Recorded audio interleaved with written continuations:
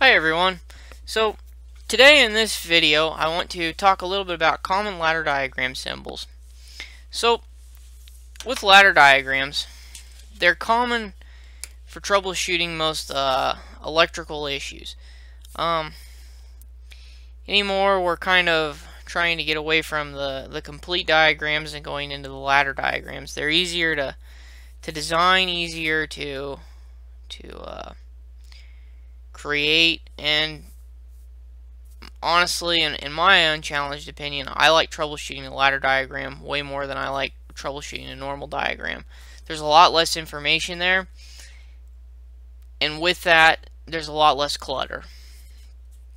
So, today I wanted to talk a little bit about like some of our, our common ordinary buttons that you would see in a ladder diagram. Um, the very first one I, I want to show you would be uh, just a common, ordinary, normally open push button. Um, it's just a just any old common push button you'd find out there on some kind of panel. It's just got to be a normally open contact or normally open on the circuit. The next one that you would see out there would be a, a normally closed, and of course it'd be drawn like this. And notice the difference between the normally open, it's not connected, and the line is on top of the two contacts. On the normally closed, the line is connected, and it is at the bottom of the nor of the two contacts. Uh, the next one you would see out there would be uh, this little guy here. It's a normally closed, and it's got a mushroom head on it. A lot of times you would see this little guy on an emergency stop somewhere. Uh, most emergency stops is, are actually required to be a double contact or double redundant.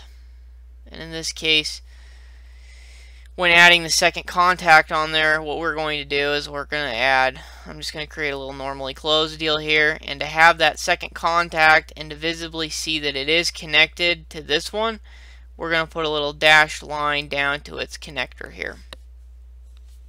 And that way we visibly can see that there is a, a um, second contact there. Excuse me. The next little deal that we might see out there would be like a selector switch, and I probably should label these. So normally, oops, normally open, normally closed, and this is a mushroom. Normally closed. Okay, and again, this is normally closed. Okay. So, the next one you would see out there, like I was saying, is is be a, maybe a two-position selector switch. And depending on how it's set up, it's more than likely going to be set up similar to this right here. And this is the way it would probably be drawn, more than likely, on your your ladder diagram. And if they wanted to label it, they'd probably put like a J or a K or or maybe like an N and a P or something like that, like N, P or on, off. okay. Um. Again, like I said, two position selector switch.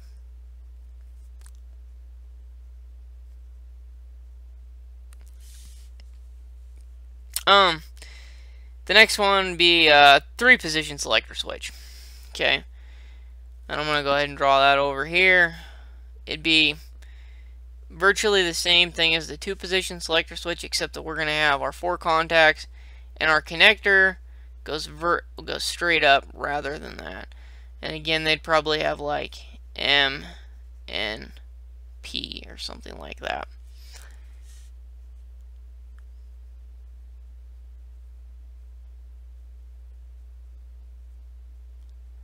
Switch. Okay. And uh, the way that would simply work is you would turn the one position and it would come up and connect these contacts. Then you would turn it to the middle position. It would not touch any of the contacts. You turn to the last position and it would touch your last two contacts. Same thing with your two position. When it's in this position, it's touching these two contacts. In the next position, it's touching these two contacts.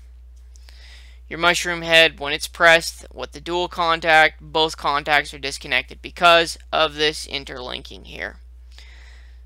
So for instance, if this two position selector switch had an interlink here that touched right here, what that would be saying is when it's turned to this position, both positions are opened.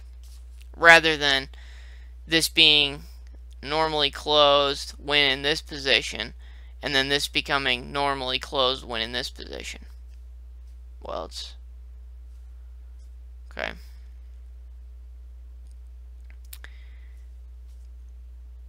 This case, it would actually be normally closed, normally closed. Until turned to this position, and then it would become normally opened. Or then it would become opened. Selector switches, you have to be careful though, by the way, with that normally closed, normally open, because in a selector switch, it depends on the state it's in. If you have a simple on-off, you want to know what the position is when it's in the off state, not the position it is when it's in the on state. That's something you have to be careful of. Remember, you want it in the resting position. That's what defines normally closed. So resting position defines normally closed versus normally open. So in your selector switch, if this was your off position rather than your on position,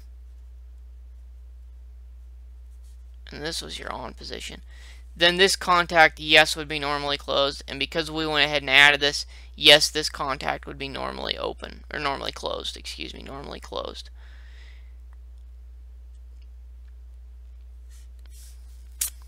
Anyway, um, that's all I have to show you in this video. So these are, like I said, these are just some common ladder diagram symbols, mainly buttons and selector switches. So anyway, thanks for watching.